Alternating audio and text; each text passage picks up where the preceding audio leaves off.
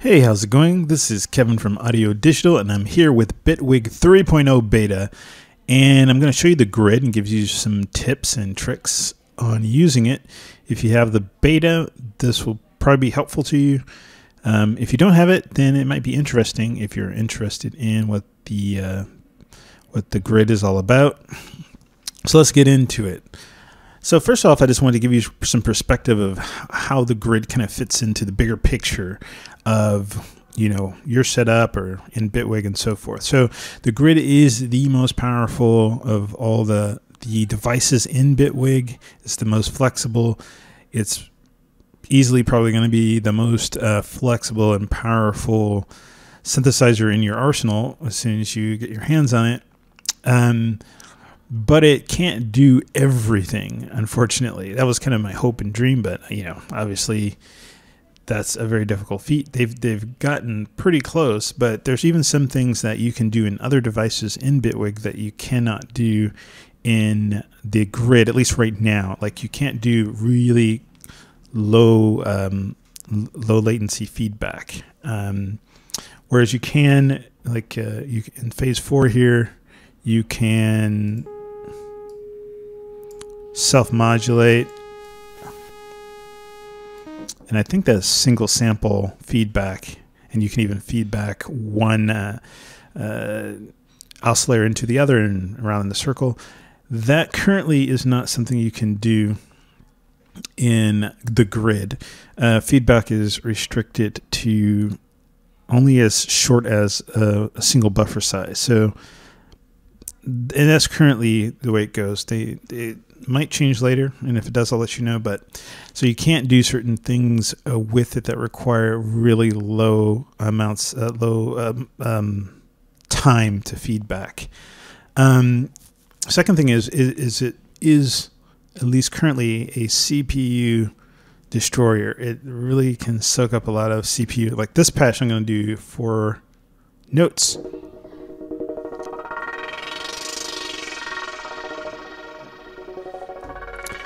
Check out that CPU there.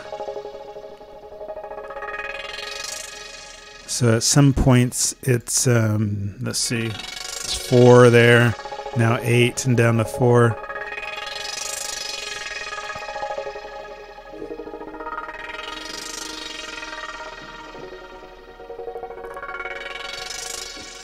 So yeah, and this has one oscillator, one noise gate, two filters couple of LFOs. So yeah, it's pretty intense. It sounds great. the oversampling definitely pays off, but it will um, make your CPU cry. So keep that in mind when you're messing around with it. Hopefully, some optimization will bring those numbers down. But um, I think when you're dealing with high quality output, you you're gonna soak up some CPU. So I wouldn't expect it to get super low there.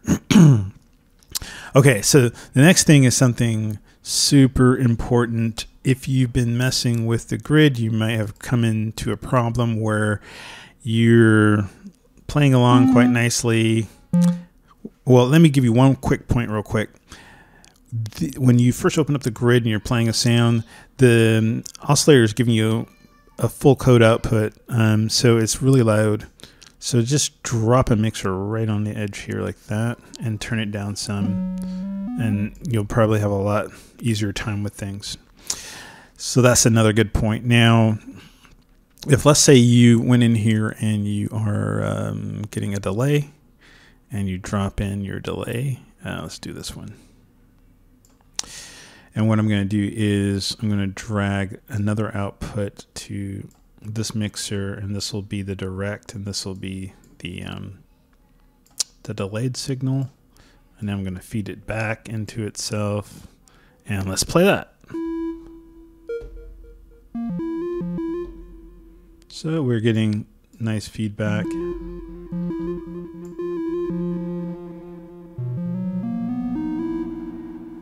Great, right? Fun. Now, um, let's go ahead and click on this one and we're only having one voice so let's do eight voices let's say. What? Where's my delay tails? So if you've been running into some problems where sounds are dropping out or it's not doing exactly what you expect, the problem is that um, in order to save processor when you're doing polyphonic mode, the system shuts down if the envelope closes. I think the envelope is pretty much the only thing that determines this uh, because if I make the envelope super short, we get like not even the hint of any sort of trail. So um, what we do to fix that is click on the output here, and then we want to turn on effect voice lifetime. We can turn down the threshold and then turn up the timeout, maybe half a second. And now we're getting the echo. So what's happening here is that um, this threshold means that if sound isn't hitting the output here above this threshold, it's going to shut down, and it's going to shut down after like uh, half a half a minute, a half a second, right? So um, you can use it if I want to get a lot of reverb trail. Then I can set this kind of low and give it some timeout, and then I'll be good to go. So hopefully that'll save you a lot of frustration. Next thing I'm going to recommend is that you don't use effects within the grid when you're doing polyphonic mode. Um, when you are in polyphonic mode and you have more than one voice here, what's actually happening is is that there are going to be that many copies of every component um, for is going to be at least one copy of every component for every note you play. So if I play one note, it's just one set of all this stuff. But if I play three notes, it's three oscillators, three envelopes, three um, delays, and three mixers, and they can all be independently tuned for each note. So the reason why you don't want to do things like delay or effects in that way, or you know, depending like usually reverb and delay and things like that you you don't need that. It's not going to actually add anything to the sound. So you want to go ahead and use the fx section here and add your effects down there um, it's going to sound just as good or maybe even better in some cases. It's not going to take up as much CPU and it's going to be a lot easier to manage in your signal flow and so forth. So don't forget about these pockets down here um, where you can put effects uh, because they are your friend. All right, what else can we look at here? Um, phase. Phase is uh, confusing, I think. It was confusing to me one thing I tried to do was I wanted to do a release envelope, right? So let's uh, set up a oscillator here, and let's see. I wanted, um, I don't know, whatever. I'll just do this and give it a uh, this with a little bit of a glomp on end. Okay, and I wanted that one to trigger with the release, and so I put in um, another envelope, I believe. Uh, and we're going to do an AD because we we want to go on the release, but we want to end eventually. And then um, I'm going to just, uh, well, let's just route through here since we were having that kind of fun. And uh, connect this up. And so I want this one to trigger on a release note. So I would go in here and put this gate in here. And then I want to invert the gate. So I'm like, okay, how do I make it the opposite? And I went to phase and I said, okay, let's put this reverse in here and see if that helps. And then I wired that up and tried it. Nothing. This the signal wasn't even going through and I'm like, what's the what here, man? Shouldn't that reverse it and do the opposite? But the thing with phase is if you try to use a logic signal with a phase signal, it's almost never going to work. And the reason is because this type of signal, a logic signal, goes between zero and one, and the phase signal has a continuous. Uh, it uses all the numbers basically between zero and one, but zero and one are the same value for a phase signal.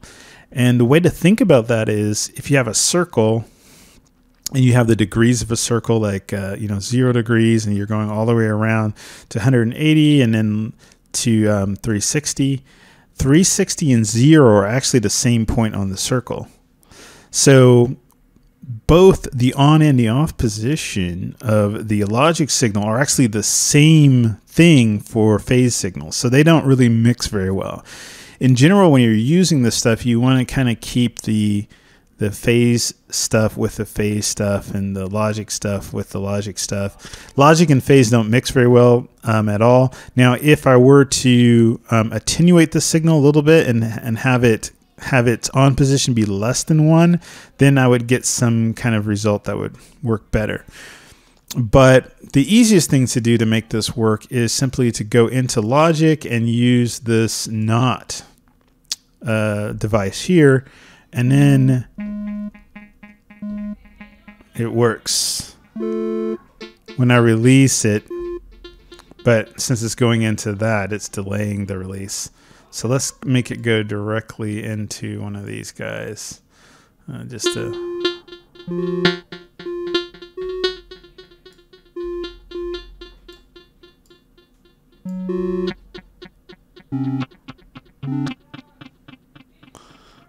that delay is um pretty loud, but but anyway, you get the idea.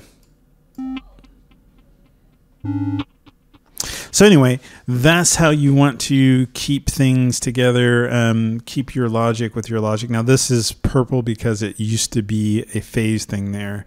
Uh, I don't think that's a bug. I think it's just the way that's going to always work. But if I want it to be normal, I just do that and it should work.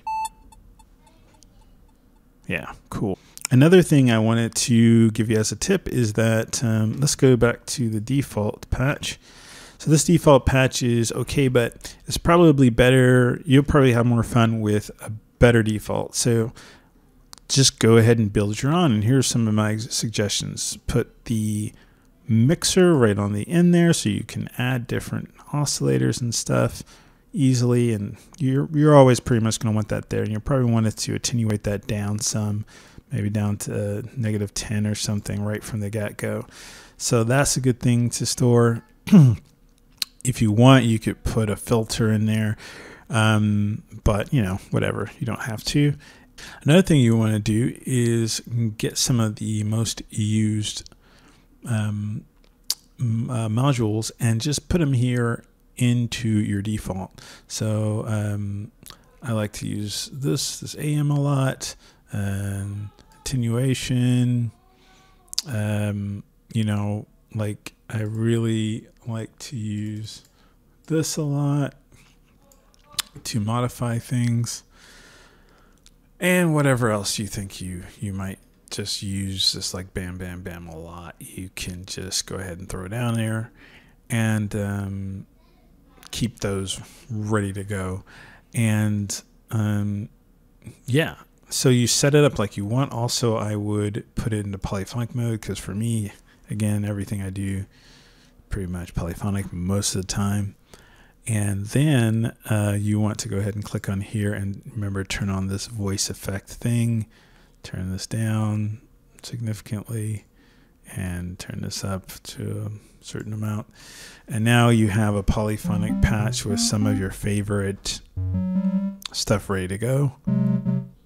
And then when you save it, you just want to go in here and click on save as default preset.